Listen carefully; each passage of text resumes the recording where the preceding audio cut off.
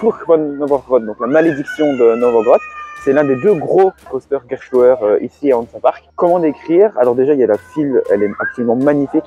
Euh, on est vraiment plongé dans cette atmosphère euh, moyenâgeuse comme l'ensemble du parc. L'ensemble du parc est vraiment très très beau, très poussé thématiquement. C'est un peu une file dans le même style que celle de Phoenix at Overland ou du Hollandais volant à Tuning, pour situer. Mais c'est vraiment super bien. Euh, il y a des animations au moment des départs du train et arrivée des trains en gare.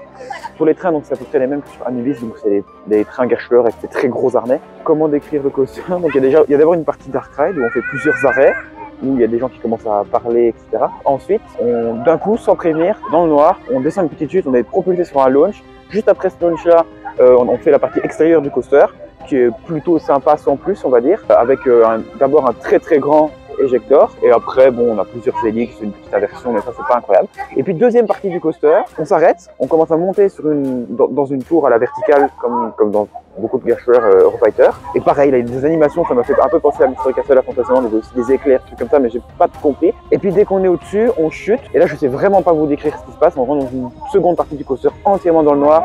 Ça va à droite, à gauche, on va super vite, on a du vent, c'est n'importe quoi. Et puis d'un coup, c'est fini, on est en gare. En tout cas, c'est vraiment génial, c'est vraiment déroutant. Franchement, c'est un super coaster euh, qui va monter, je pense, quand même bien haut dans mon top. En tout cas, pour l'instant, c'est mon Gershler préféré, ça c'est sûr.